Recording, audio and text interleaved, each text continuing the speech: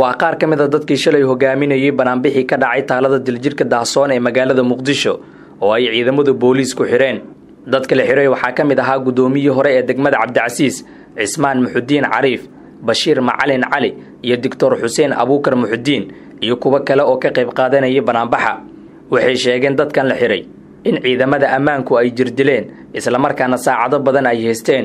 Waxay ku doodayaan in ay si nabdoon u banaanbixi karaan afkaartoodna ay muujin karaan balse aan laga doonayn in dowladdu ay joojiso banaanbaxaasi. Doctor xuseen abuukar muxudiin iyo bashiir macalin cali ayaa sharaxaya waxa ay ciidamadu boolisku kala kulmeen shalay iyo waxa uu ku saabsanaa banaanbaxooda. Warbixin ku saabsan banaanbixii shalay ka dhacay daljirka dahsoon ee magaalada muqdisho. Shalay waxaa dhacay wax aad iyo aad loola yaabo.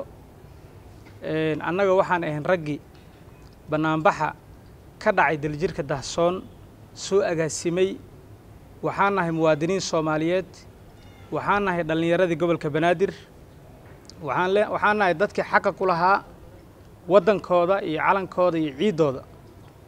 Waxaan xaq u leenahay inaan ka hadalno waxyaabaha annaga aan qabno oo aragti ah inaan qabno inaan ka hadalnaan u leenahay. Sidaas darteed ayaan u imaanay daljirka dahsoon si aan u muujinno dareenkeenna ku aadan waxyaabaha aan qabno waxaan ka hadlaynay shalay banaanbaxeenna mawduuca uu ku saabsanaa wuxuu ahaa laba qodob oo kale ah in magaaladan muqdisho ay hesho maamul inay hesho oo dadka ay doorteen. Magaalada muqdisho inay ka baxdo maamuladan la soo magacaabayo kadibna la abyuus garaynayo ama banishmentiga lagu samaynayo waxaan rabnay inaan ka hadalno qodobka labaad oo ah in waddanka doorashadiisa xilligii doorashada oo la joogo in aan u dirno baaq madaxweynaha doorashada inaan dib loo dhigi karin. Maxaa yeelay doorashada haddii dib loo dhigo waxay sababi kartaa waxyaabo badan oo dib u dhac ah waxay sababi kartaa burbur iyo dagaallo sukeeye waxay sababi kartaa soomaaliya oo soddon sano oo hor leh dhibaatadii ay ka timid dib ugu laabato. Waxaan arkaynaa in la handadaayo la xiraayo loo cagajuglaynaayo idaacadihii iyo telefishinadii iyo saxaafaddii in la handadaayo waxaan arkaynaa in loo handadaayo loo cagajuglaynayo la dhibaateynayo shacabkii inaysan banaanbixi karin. Sideeda bannaanba banaanbaxa waa qodob dastuuri ah. Dastuurkeenna kumeelgaarka jamhuuriyadda federaalka soomaaliya qabo. Waa qodobka labaatanaad ay ku qoran tahay qofka inuu banaanbixi karo asagoo aan fasax qaadanin. Inuu aragtidiisa soo gudbi karo asagoo aan cidno fasax ka qaadanin.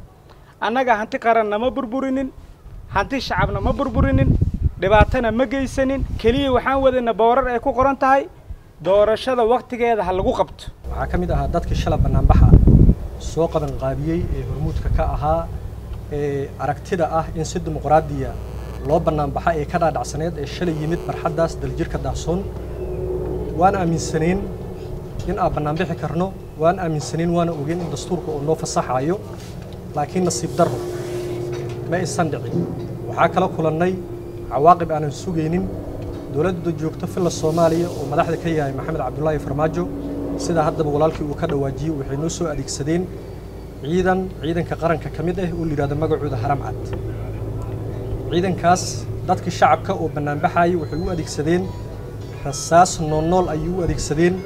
Waxay ku rideen qoriga loo yaqaana dhashiikaha oo agtihiin saamaynta uu leeyahay iyo argagaxa uu dadka bannaanbaxayay iyo kuwa bannaanbaxayn inuu muwaadiniintu cashuurbixiyaasha guryahooda joogo u geysan karo. Dhibaatadaas shala ka dhacday dadka askarta ayaa loo adeegsaday. Mushkiladdaas weyn ayaa dhacday. Waa la jir dilay. Dadka shacabka ahaay oo iskugu jira dhallinyaro waxbarato aniga aan ka mid ahay. Iyo guddoomiye yarow degmada cabdicasiis oo aan aragtidaas ka mid isnayn oo shalay aan isla joogno meesha fagaaraha ah. Waana jir dileen waana xireen. Xabsi aanan mudnayn oo baalkii qaynuunka usan qabin ayayna geeyeen dowladde waxaan ka sugaynay inay ilaaliso qodobada dastuurkan oo dhigaayo laakiin ma aysan dhicin. Waxaa la yaab leh dowladda joogta filla soomaaliya oo farmaajo madaxweynaha ka yahay haddii aysan dastuurkan ilaalinaynin oo mid magaalada muqdisho joogo cashuurta bixiyo aysan dastuurka ku ilaali karin oo mid maamul goboleed joogo oo federaalka ka mida aysan dastuurka ku ilaali karin hadda dowlad aad dastuurka rabin ma dhihi karnaa waa dowlad dimuqraadiya oo dhexdhexaadi u noqon kartaa federaalka iyo magaalada ay degan tahay taasi waa maya. Madaxweynaha iyo xukuumadda waxaa ugu baaqayaa wixii shala meeshaas ka dhacay oo qeyro dastuuriga ahaa oo shacabka isku soo baxay loo geystay in ay ka falceliyaan ay raalligelin ka bixiyaan. Markaas ayaan ogaan karnaa arrinta shala dhacday inay qalad tahay dowladdan ay dastuurka aaminsan tahay. Laakiin dowladda hadday aaminsan tahay inay shacabka caburiso aysan bannaan bixin oo qodobka dastuurka u banneynayo ay iska indhatirayso waxaan u aqoonsanaynaa dowlad dictator oo sida dowladda maxamed siyaad barro kale. Guddoomiyihii hore ee degmada cabdicasiis cismaan muxudiin cariif ayaa sheegay in ciidamadu ay si xun u jirdileen isagoona codsaday in doorashada wakhtigeeda lagu qabto.